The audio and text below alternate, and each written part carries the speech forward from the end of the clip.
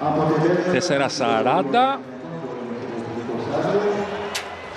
Όχι, δεν μπορεί να περάσει. Άκυρη αυτή η προσπάθεια. Η δεύτερη της προσπάθεια έχει δύο άκυρες και η Αδαμοπούλου. Στην ε, σφαιροβολία